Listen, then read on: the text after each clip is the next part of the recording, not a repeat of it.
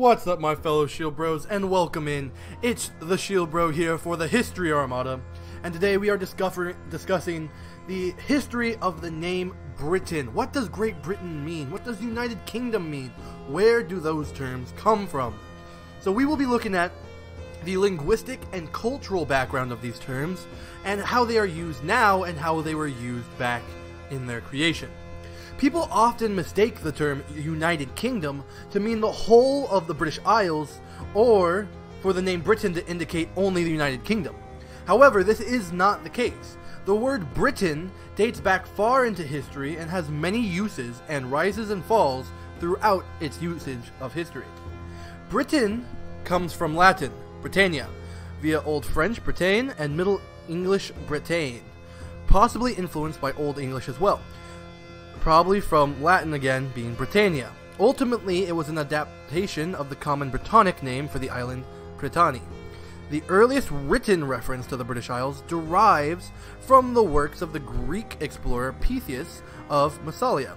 Later Greek writers such as Diodorus of Sicily and Strabo, who quote Pytheas' use of variants such as Britannicae, or the Britannic island or land, and Nesso Britanniae, the Britannic islands. See, we're getting closer there, Britannic islands. With Britanni being a Celtic word that might mean the painted ones, or the tattooed folk, referring to the, the decoration that the Celts of the British Isles had. The name Britain originates from the common Brittonic terms Britanni and is one of the oldest names for Great Britain an island off the northwest coast of continental Europe, as you can see there. So the terms Briton and British, Briton being B-R-I-T-O-N as we referenced in the King Arthur video, similarly derived refer to its inhabitants and, to varying extents, the smaller islands in the vicinity. British Isles is the only ancient name for these islands to survive in general usage. So the name itself has to do with the changing of speech from Old English and the fading of the Greco-Roman usage. In Old English, or Anglo-Saxon, the Greco-Roman term referring to Britain entered in the form of Bryttania, B-R-Y-T-T-A-N-I-A, as attested by Alfred the Great's translation of Orosius's seven books of history against the pagans.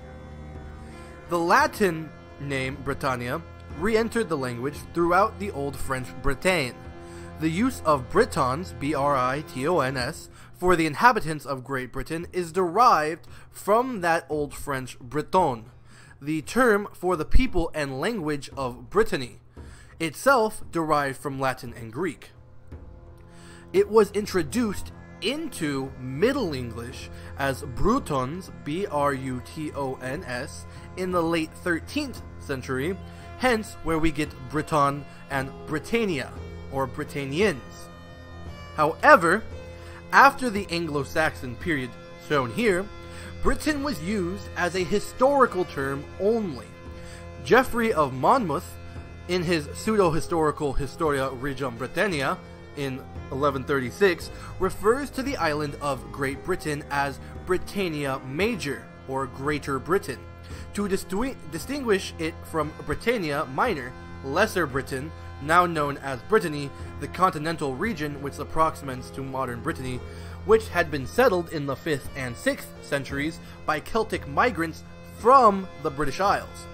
The term Great Britain was first used officially in 1474 in the instrument drawing up the proposal for a marriage between Cecily, the daughter of Edward IV of England, and James, the son of James III of Scotland, which described it as, quote, This noble isle, Calit Great Britannie, G R E T B R I T A N E E. As noted above, it was used again in 1604 with the same description when King James VI and first styled himself King of Great Brittany, France, and Ireland.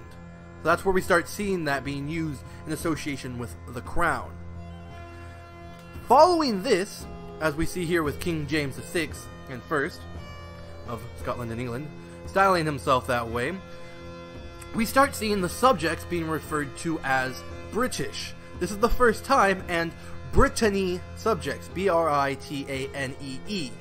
And then, officially in 1801, the name of the country was changed to United Kingdom of Great Britain and Ireland, recognizing that Ireland had ceased to be a distinct kingdom, and with that Acts of Union 1800 solidifying this, and had become incorporated inside of this union. So that's where we see United Kingdom of Great Britain and Ireland come from. In contemporary usage, therefore, Great Britain, while synonymous with the island of Britain, and capable of being used to refer politically to England, Scotland, and Wales in combination, is sometimes even used as a loose synonym for the United Kingdom as a whole. That's where this comes from. That's where this kind of confusion comes from. It's because of the union and this contemporary usage that we see it become this loose synonym that allows for the United Kingdom and Great Britain to be confused and oftentimes interchanged. But, as I have shown, that was not the case indeed. However, the term Britain encompasses far more and has a rich history of origin originating all the way back to that ancient Greek and Roman usage.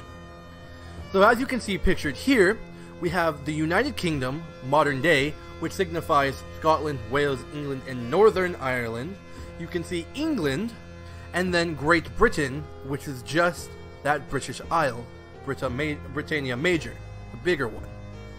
So with that being said, I hope you enjoyed today's video, and I hope you learned a little bit from this short video about the history of the term of Great Britain and the name Britain, and how we arrived at its modern usage and the contemporary meaning.